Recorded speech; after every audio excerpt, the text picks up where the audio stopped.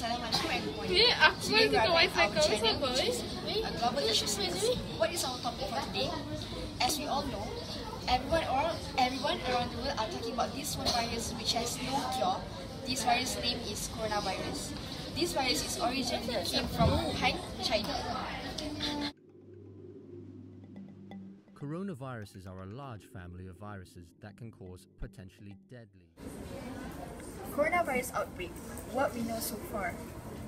The new strain of coronavirus has infected thousands of people, mostly in China, killed hundreds in the country, and prompted the World Health Organization to- declare a global health emergency.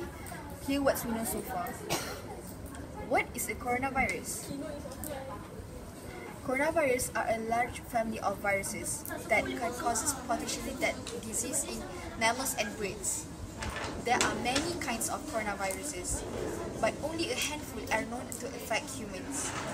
Diseases range from the common cold to SARS, which infected more than 8,000 people and killed 813 people in 2002 to 2003.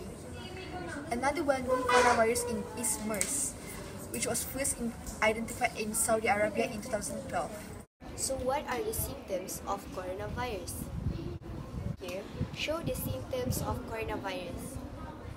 Cough, difficulty breathing, aches, sweat, chills, tired, headache, fever, and cough. If you have one of the symptoms, please go to the hospital as soon as possible. This might affect people around you. Take action before it's too late.